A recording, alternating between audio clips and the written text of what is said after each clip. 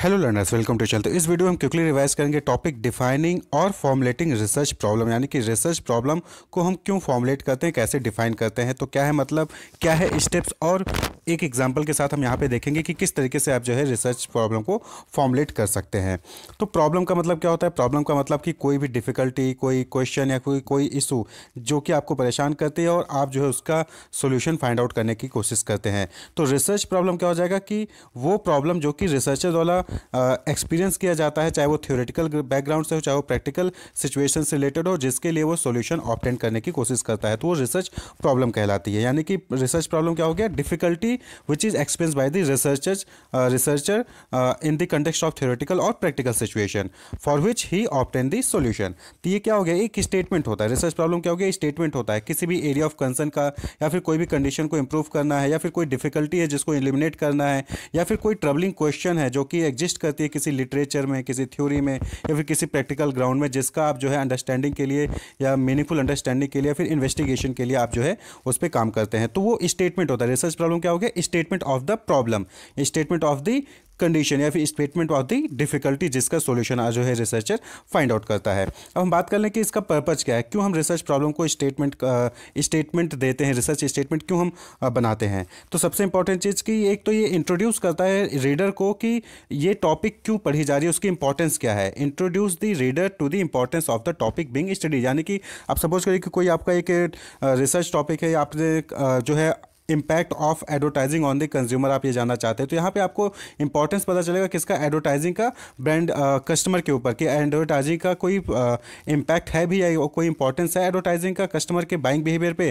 तो इससे आपको इस चीज़ का पता चलेगा। दूसरी चीज़ है कि place the problem in to a particular context that define the parameter of what is to be investigated यानी कि इससे रिसर्च स्टेटमेंट से रिसर्च प्रॉब्लम से आपको ये चीज़ पता चलती है कि क्या चीज़ें इन्वेस्टिगेटर इन्वेस्टिगेट करनी है। इससे भी जो है पैरामीटर्स के बारे में पता चलता है कि कौन कौन सी चीज़ें इसमें इन्वेस्टिगेट की जा सकती हैं। और तीसरा है कि provide the framework for reporting the result यानी कि किस तरीके से रिज़ल्ट को रिपोर्ट करना है and indicates what is probably necessary to conduct the study यानी कि उस स्टडी को कंडक्ट करने के लिए कौन कौन सी चीज़ें नेसेसरी हैं। उसके लिए भी जो है रिसर्च प्रॉब्लम आपको एक हेल्प देता है, यानी रिसर्चर को हेल्प प्रोवाइड करता है। तो ये रिसर्च प्रॉब्लम का एक पर्पज होता है कि क्यों हम इसको जो है डिफाइन करते हैं रिसर्च प्रॉब्लम को, क्यों फॉर्मुलेट करते हैं। अब बात कर लें कि इसमें कि कैसे जो है प्रॉब्लम को रिसर्च प्रॉब्लम को डिफाइन किया जाता है, फिर फॉर्मुलेट किया जाता है। तो उसके लिए टोटल पाँच स्टेप हैं जिसमें आप परफॉर्म कर सकते हैं during the research problem defining the research problem तो सबसे पहले statement of the problem in general way यानी कि अपने प्रॉब्लम को एक जनरली जो है स्टेट करिए। आप जो है इसको बोलिए, लिखिए। और आपका प्रॉब्लम इस तरीके से होना चाहिए कि उसका कोई ना कोई प्रैक्टिकल कंसर्न या फिर कोई साइंटिफिक या इंटेलेक्चुअल इंटरेस्ट होना चाहिए। यानी कि उससे कुछ ना कुछ बेनिफिट होना चाहिए। ऐसे नहीं कि कोई भी इलॉजिकल क्वेश्चन या फिर कोई इलॉजिकल स्टेटमेंट आप दे रहे हो प्रॉब्लम का। प्रॉब्लम का एक स्टेटमेंट ऐसा होना चाहिए जो कि प्रैक्टिकल यूज़ यूजफुलनेस हो उसकी या कोई साइंटिफिक या इंटेलेक्चुअल उसका इंटरेस्ट यानी कि उसका रिज़ल्ट का कुछ ना कुछ फ़ायदा हो। उसके बाद जब आप स्टेटमेंट दे लेते हैं प्रॉब्लम को तो उस प्रॉब्लम को नेचर को आप समझने की कोशिश करिए कि वो प्रॉब्लम आई कहाँ से, उसका जो है ऑरिजिन कहाँ से है। उसके नेचर को अच्छे से डिटेल में समझिए, ठीक है? अगर प्रॉब्लम आपने खुद ही क्रिएट की है तो आप ये सोचिए कि आपको प्रॉब्लम ये इंड्यूस कैसे हुआ, यानी कि किस कौन से फैक्टर्स थे जिसकी वजह से आपके दिमाग में ये प्रॉब्लम आई? ये क्वेश्चन आया तो क्यों आया?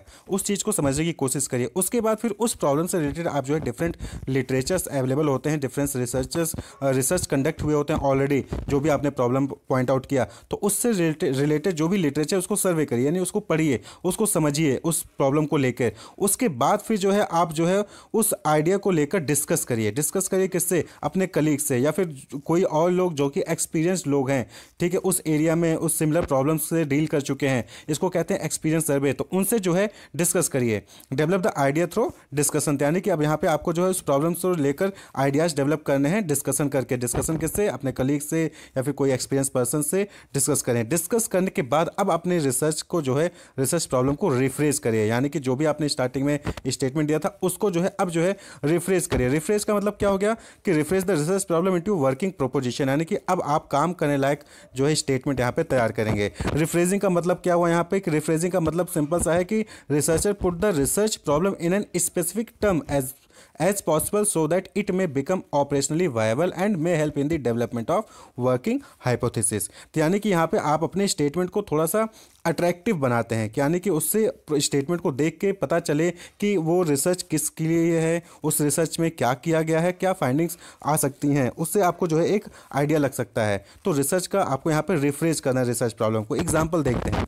एग्ज़ाम्पल में आप यहाँ पर देख सकते हैं। सपोज़ करें कि why is productivity in Japan so much higher than in India अभी सपोज़ करें कि आपने एक जनरल स्टेटमेंट दिया तो अब यहाँ पे स्टेटमेंट जो है एक्जैक्टली रिसर्च स्टेटमेंट नहीं हो सकता क्यों? क्योंकि यहाँ पे बहुत सारी एम्बिग्यूटीज़ हैं। जैसे कि यहाँ पे प्रोडक्टिविटी किस, किसकी रिफर्ड की जा रही है? किस सम टर्म में रिफर्ड की जा रही है?